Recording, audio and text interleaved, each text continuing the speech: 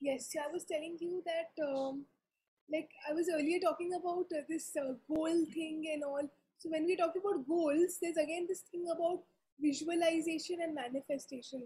So um, I again find that quite hard. So what is uh, your take on this, or do you practice it? Mhm. Or, uh, how can that be a little simple, like simpler?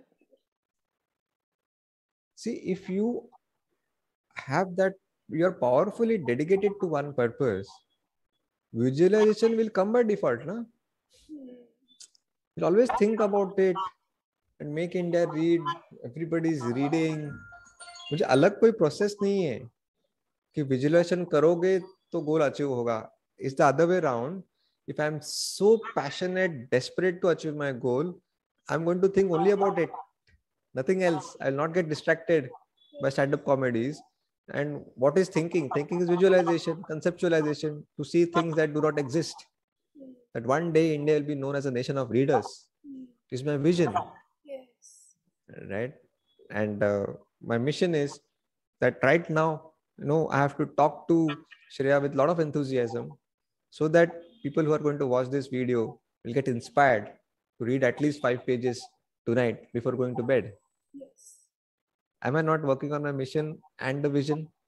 Okay, like 100% yeah. So i think somewhere okay let, let me try to simplify uh, since we have been uh, again talking about goals and uh, achievement and visualization.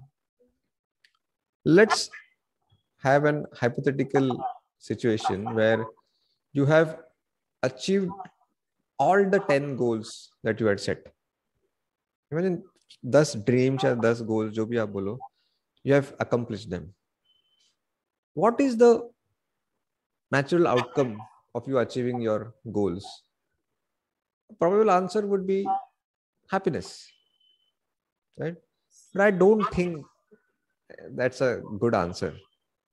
There is an alternative way of making all these things things worthwhile of, of pursuing your goals and achieving them. for that uh, what is the opposite of love? It is we immediately hate. Yeah i don't think. Because if you're hating somebody you are still having feelings. Oh, yeah, it is not. The opposite of love should be indifference. indifference. Yeah, indifference. No. indifference. Hate is still an emotion. Yes, hate is not the opposite. exactly because and love and hate are two sides of the same coin when you love a person you are bound to hate him or her sometimes Yeah, it's a love hate relationship. yeah You can't exactly always love someone. Yeah. And- Yeah. yeah. so the correct opposite of love is Indifference. not hate it is indifference Indifference. मुझे पड़ी ही नहीं है Yeah. तू क्या कर रहा है कि क्या कर रहे है, मुझे पड़ी ही नहीं है now that is ag- exactly opposite of love that is indifference now so using this uh, explanation let us try to understand what is the opposite of happiness. Because we started with happiness right? We do everything to be happy to achieve our goals.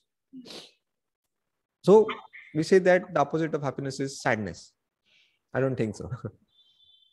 Of course all these things i've read from in a book called uh, the four hour work week by tim ferriss timothy ferriss. Yes. so the opposite of happiness is not sadness because again the best illustration is that you know we cry out of happiness is a very good example that again happiness and sadness are two sides of the same coin because happiness there has to be sadness only then you'll again become happy na? Yes. right so the opposite of happiness is boredom Boredom. Boredom. and if that is true if the happy if the opposite of happiness is boredom then a better appropriate synonym for happiness is excitement Yeah, yeah.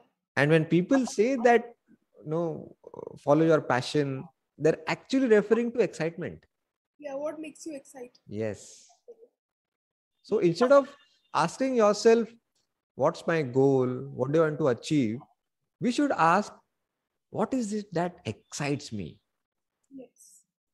then see things will become very easy. So I want to find my passion. I have to set my life goal. What excites you?